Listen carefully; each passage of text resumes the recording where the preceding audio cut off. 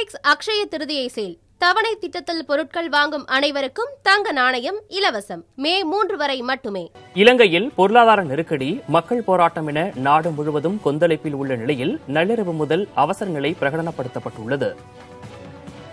இலங்கையில் வெண்ணெய் முட்டும் விலைவாசி உயர்வு மின்சாரம் மற்றும் எரிபொருள் தட்டுப்பாடு என அன்றாட வாழ்வுக்கே வழியற்ற சூழல் நிலவுகிறது. அதிபர் கோட்டபய ராஜபக்ச பிரதமர் மஹிந்த ராஜபக்ச ஆகியோர் பதவி விலக வலியுறுத்தி நாடு முழுவதும் பொதுமக்கள் ஆவேசத்துடன் போராட்டங்களில் ஈடுபட்டு வருகின்றனர்.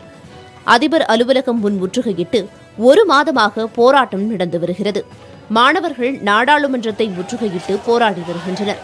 பற்றி எரியும் நெருப்பை போல நாடு முழுவதும் பல்வேறு வகைகளில் போராட்டங்கள் நடந்து வருவதால் பதற்றம் தணியாத சூழல் நிலவுகிறது. இந்நிலையில் இலங்கை முழுவதும் நள்ளிரவு முதல் அவசர நிலையை பிரகடனப்படுத்தி அதிபர் கோட்டபய ராஜபக்ச உத்தரவிட்டுள்ளார். ஏற்கனவே கடந்த மாத தொடக்கத்தில் சுமார் ஒரு வாரம் அவசர நிலை அமலில் இருந்து பின்னர் திரும்ப பெறப்பட்டது நினைவு கூறத்தக்கது.